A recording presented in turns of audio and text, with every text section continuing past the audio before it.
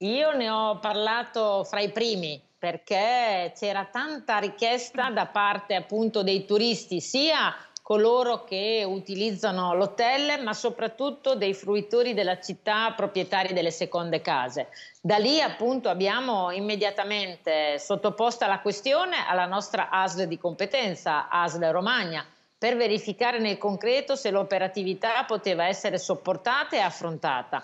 E abbiamo poi posto a livello nazionale la questione perché invece è un'opportunità.